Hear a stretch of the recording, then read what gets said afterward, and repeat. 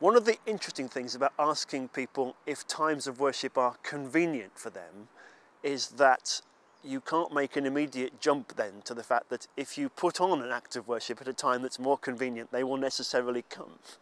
They're simply telling you that the times of worship are inconvenient, not that they would like to go on some other occasion.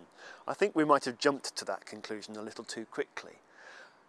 I think we might have spent too little time uh, investigating what people do, what people want, building relationships and making friendships with people, uh, and assumed that a different sort of act of worship would have a draw in its own right.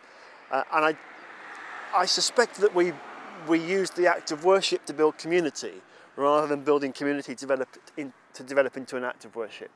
So I, I suspect that that was a mistake.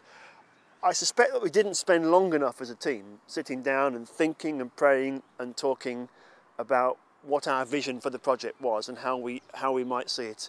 So I don't think we took into it a willingness to tweak it and adapt it as we went along. I think when we started in September 2007, we were committed to doing the same thing 12, 12 times.